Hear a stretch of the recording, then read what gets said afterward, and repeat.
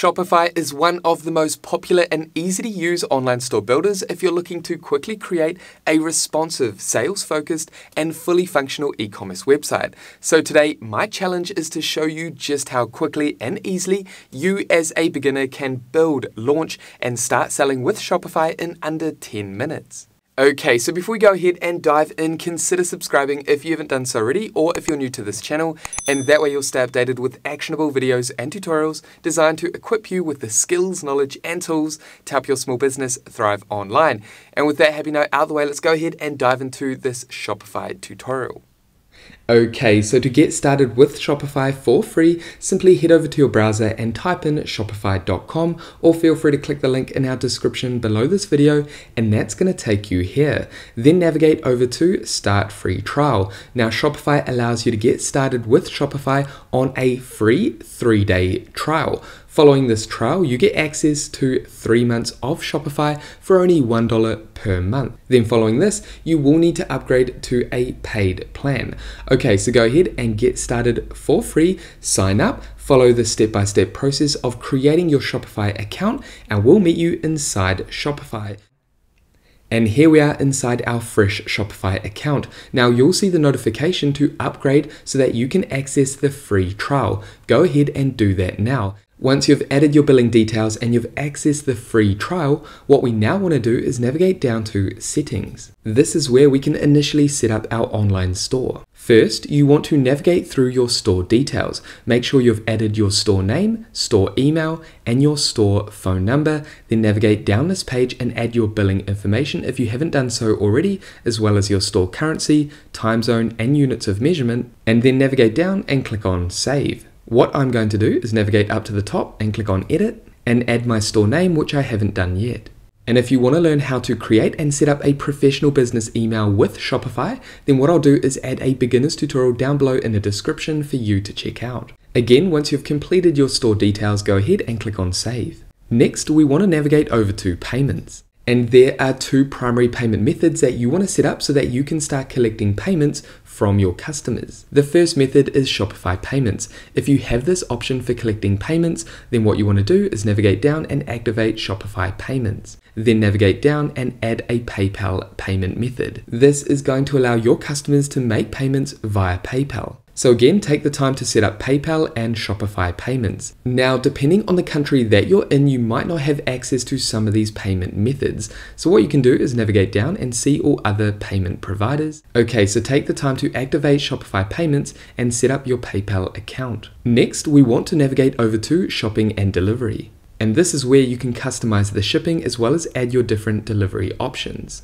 You can set up general shipping rates for domestic and international, you can also create custom shipping rates for specific destinations and products that you offer. You can also set up local delivery as well as local pickup. This depends on the nature of your online store. So what you want to do is take the time to set up your shipping and delivery. What I'm going to do is navigate over to general shipping rates and click here and I can go ahead and customize these shipping rates. Again, once you've made any changes, simply come down and click on save.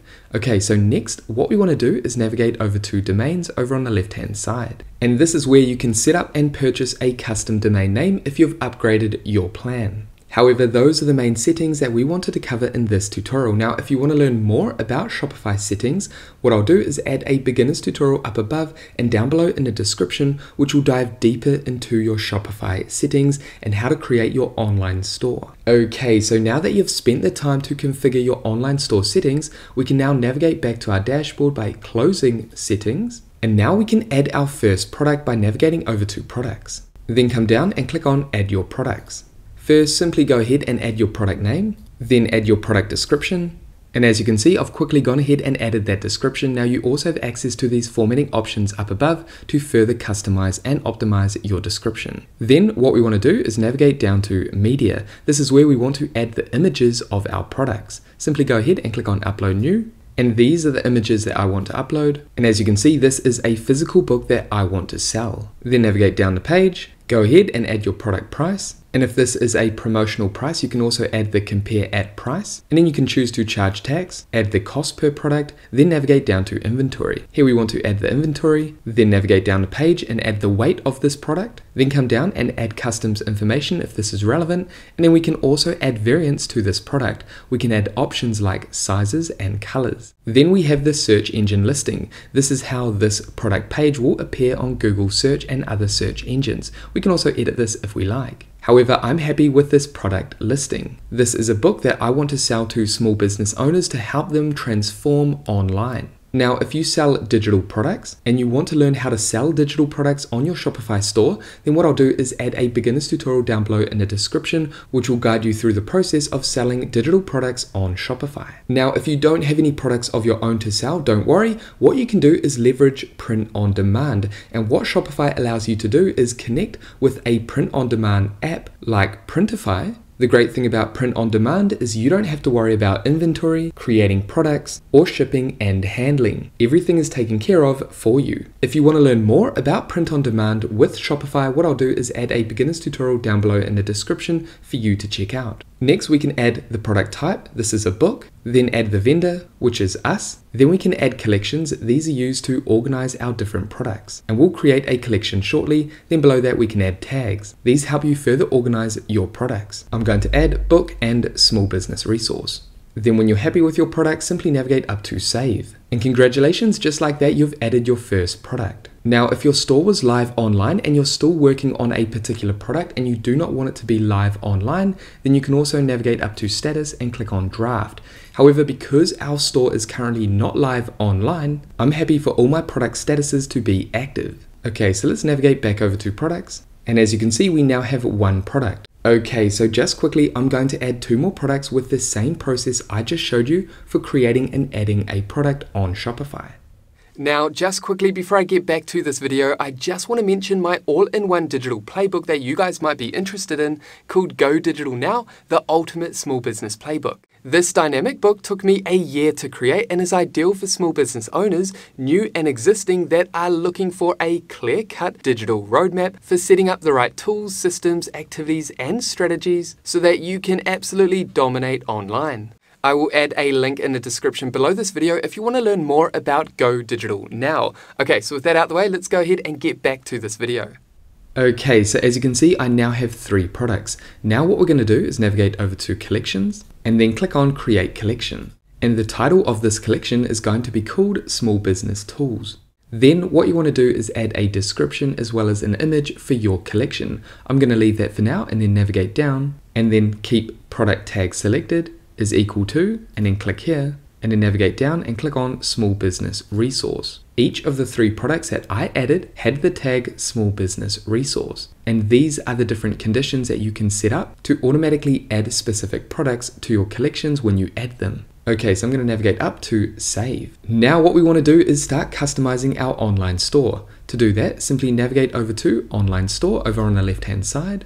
And this is where we can customize our online store, our theme. Now, if you navigate down to add theme, what you can do is you can visit the theme store and you can choose a different theme if you like. You can also navigate down here and see some popular free themes that you can use. However, for the purpose of this tutorial, we're just going to use this theme. Now, as you can see, your online store is password protected. And when you're finished designing your website, what you can do is remove the password. You can also share the password with other people that you want to have access to your website while you're developing your store. For now, I'm going to remove password. And as you can see, your online store is now open to everyone. You can go ahead and restrict your store by going back to manage access. For now, let's go ahead and customize our online store.